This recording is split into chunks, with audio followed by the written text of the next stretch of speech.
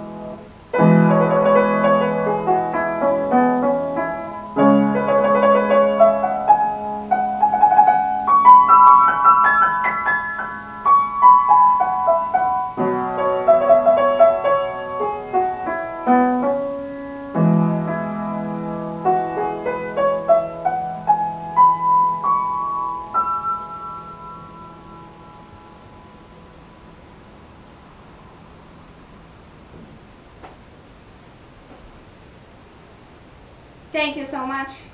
Dziękuję bardzo.